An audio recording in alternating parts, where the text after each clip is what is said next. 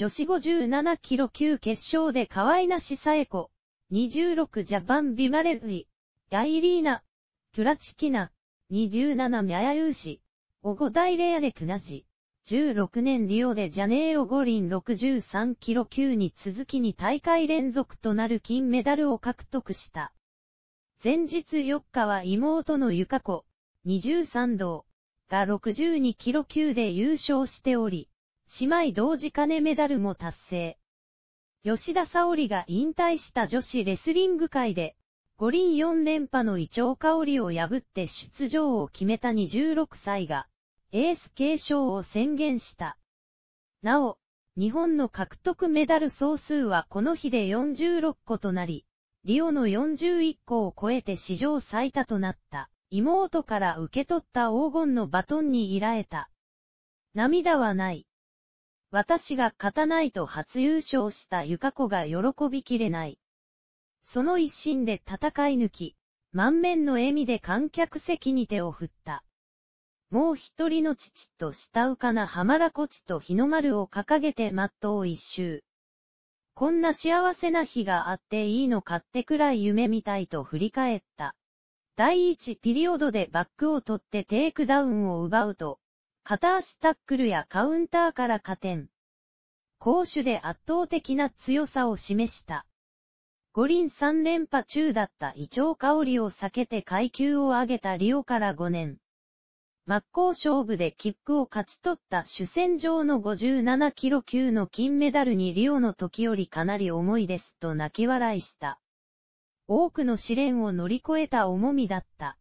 東京を目指す道のりで一度は心が折れかけた。18年12月の全日本選手権。注目が集まった一戦で、長期の離脱から戦線復帰したイチョウに敗れた。ただ疲れた。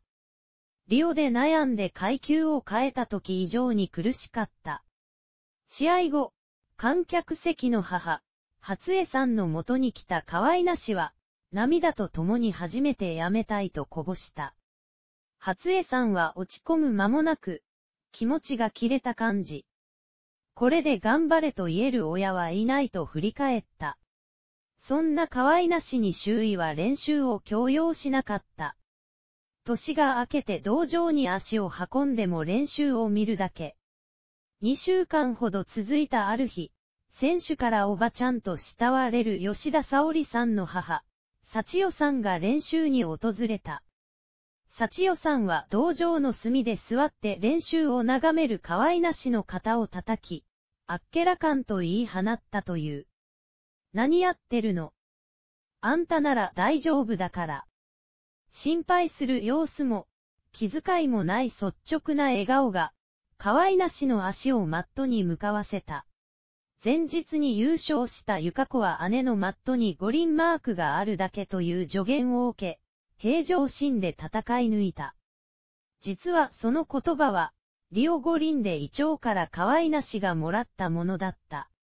選手村のエレベーターで五輪は何か違うんですか？と聞くと、帰ってきた答えは明快だった。何も違わないよ。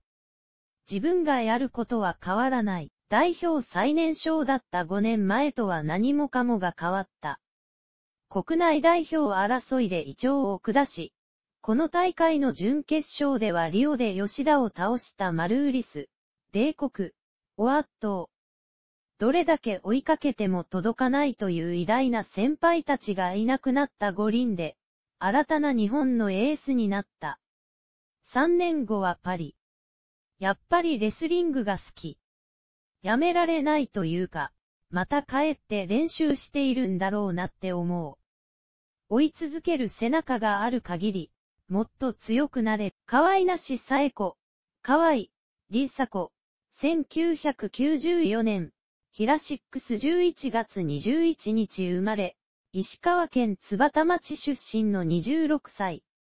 89年世界選手権代表の母。初江さんがコーチを務めていた金沢ジュニアで小学2年からレスリングを始める。私学館高、私学館大卒。16年リオ五輪63キロ級金メダル。15年世界選手権63キロ級銀メダル。17年60キロ級。18年59キロ級。19年57キロ級で3大会連続優勝。1メートル60。